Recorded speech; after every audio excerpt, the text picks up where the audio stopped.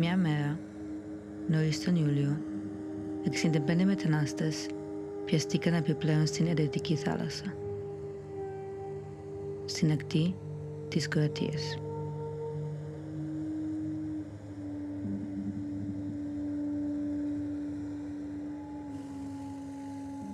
Στριμμένοι πάνω σε μια βάρκα, χωρίς βενζίνη, τους ενδιέφερε απλά να βρεθούν σε μια χώρα της Ευρωπαϊκής Ένωσης.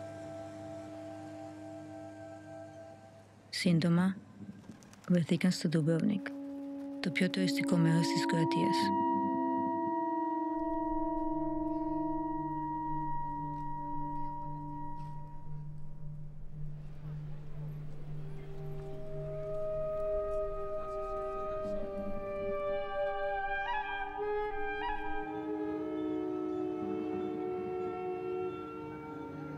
Κάποιες μέρες αργότερα, κοντά, στα νερά της Μεσόγειου, περίπου 50 άνθρωποι πεθαίνουν προσπάθοντας να καταφέρουν κάτι ανάλογο, να φτάσουν στην Ιταλία.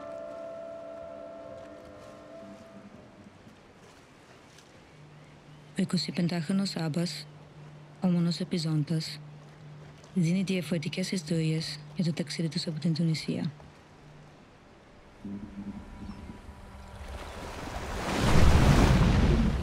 Πιο νότια, στα τέλη του Αυγούστου, μια βάρκα ταξιδεύει τέσσερις άντρες, μια γυναίκα και δύο παιδιά από την Σύρια στην βόρεια ακτή της Κύπρου.